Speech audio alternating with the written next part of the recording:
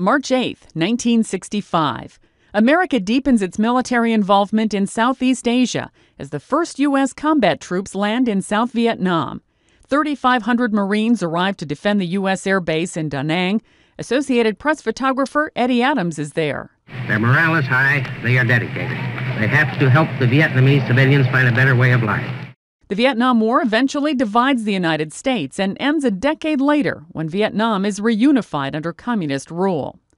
1917, start of the Russian Revolution.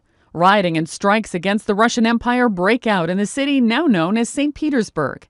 By year's end, Vladimir Lenin and his Bolsheviks seize power. They later form the Soviet Union, the world's first communist state.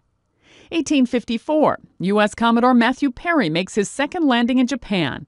Within a month, he concludes a treaty with the Japanese. That ends Japan's more than two centuries of isolation from the West. And in 1999,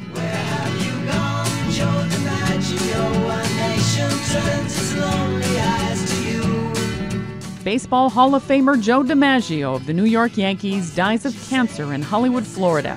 He was 84. Today in history, March 8th. Sandy Kozel, The Associated Press.